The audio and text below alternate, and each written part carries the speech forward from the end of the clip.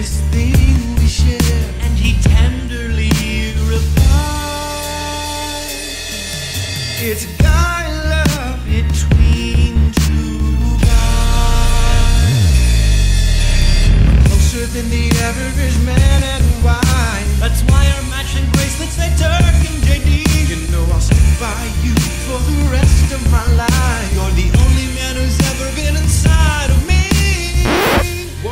Out his appendix.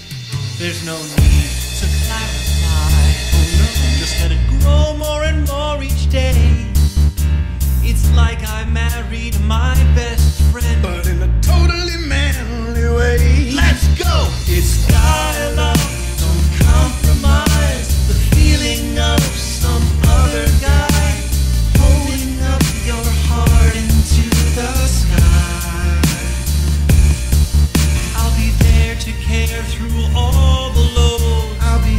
to share the high.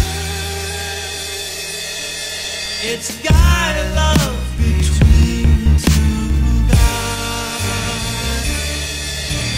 When I say I love you, Turk, it's not what it implies.